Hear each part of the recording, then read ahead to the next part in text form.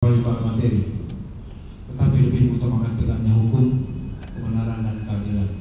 Siapa? Jujurlah, samalah kita. Saya kita yang hadir di ruangan ini sama. Siapa nggak uang?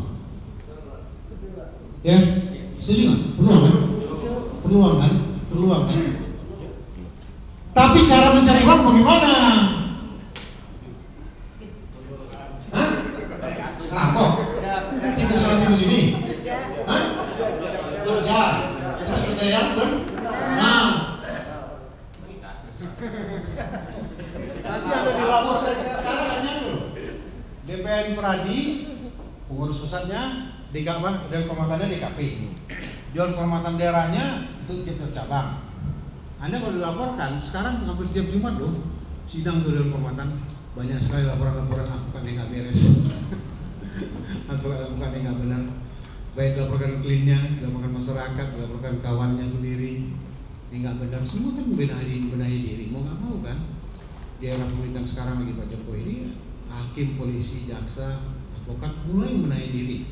Saya ingin katakan ya, ah, kita, saya nggak mau bicara isu gosip lah. Pendapat saya pribadi nih di dalam ruangan ini, udah makin baik kok bangsa ini, negara ini makin baik. Bahwa belum baik betul, ya. Bahwa masih kurangan, masih banyak kurang, ya.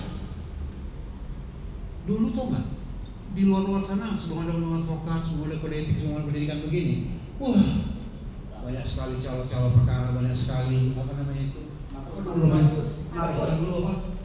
Pokok bambu, pokok bambu. Sarjana hukum enggak, kuliah enggak, karena berani doang, sana kemari, eh, tangani perkara, kita bikin sama sini, tanggung jawabnya nggak bayar, jelas, profesinya, profesionalitasnya nggak jelas, kalian nggak jelas. Sekarang nggak bisa, ada begitu bisa diproses. Nah, semua pembenahan, ya. Jadi kode uh, kehormatan Pradi tiap minggu, tiap Jumat itu sidang itu uh, menyidangkan memeriksa laporan-laporan dari masyarakat. Makanya hati-hati. Jadi jangan ya, tadi semua orang perlu materi, semua rezeki, perlu rezeki, bicara yang benar. Advokat dalam menjalankan profesinya bebas dan mandiri, tidak dipengaruhi oleh siapa pun, wajib memperjuangkan hak asasi manusia dalam negara hukum Indonesia.